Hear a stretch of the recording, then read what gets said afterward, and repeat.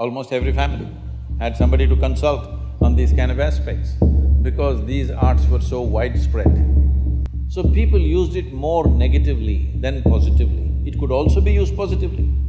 It's like in… when I say it could also be used in a positive manner, you can transform life.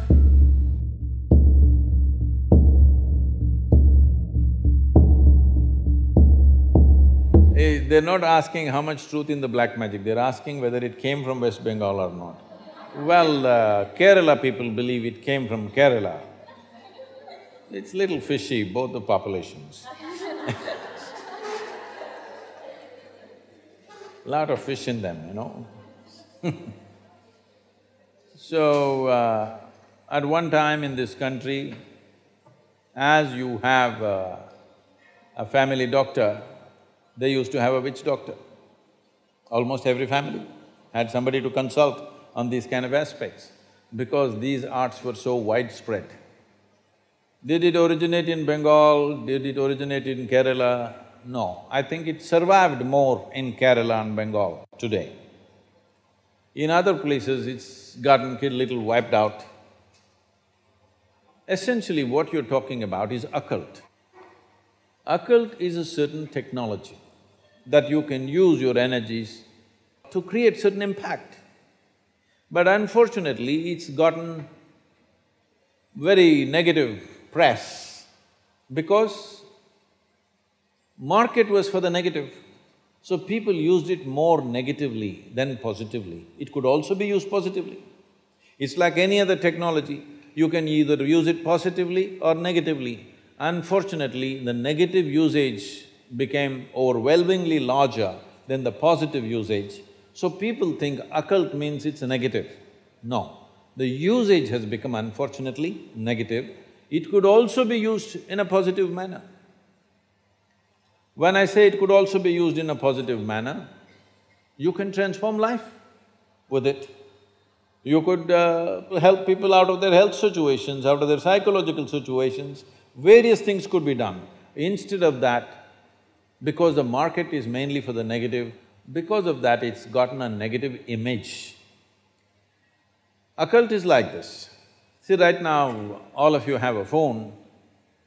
Suppose you had a phone hundred years ago, cell phone hundred years ago, you could claim you have occult powers because you could just take this and speak to somebody in America, everybody woo, they will shiver, okay? yes or no? So, occult is just technology you could communicate, you could use your energies to communicate with somebody. But as modern technology becomes more and more subtle, the need for occult is receding, receding quite a bit because so many things that we used to do in occult today can be delivered. You can send a WhatsApp message, you don't have to sit there focusing to send a message to somebody anymore. It took a lot more energy and time to do that.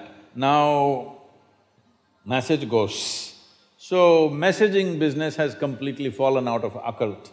Otherwise, occult was mainly used to deliver messages to people in a different way.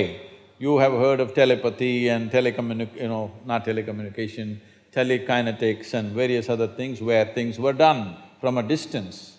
But today all those things are being done by regular technology so occult or the requirement for occult is withdrawing, the need is just going away and probably most of it will go away. There are a few things that one could do, but above all, if… if we created a society that whatever is given to you, you will use it in a positive way, occult can be a tremendous possibility, as technology can be tremendous possibility. As I mentioned earlier, most of the technology is used for developing arms and armaments and bombs and nuclear bombs and more and more destructive things. The same thing could have been used for something else. Absolutely, positive things could have been done, but that's not been done because the market is for the negative. Similarly, the same things have happened to occult. Your uh, Mukherjee friend, uh well, I think from what I hear, I think Kerala tops in the occult practices even today.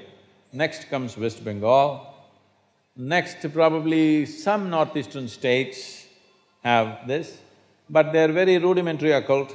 Kerala occult is quite sophisticated. You will see a lot of occult in North America, in the North American tribes, but very basic, mainly messaging occult. But now they all have smartphones, so it's all going out. I think Kashmir at one time had a lot of occult. Bengal, Kerala, Northeast, well, some parts of Andhra Pradesh and Orissa, but now market is done.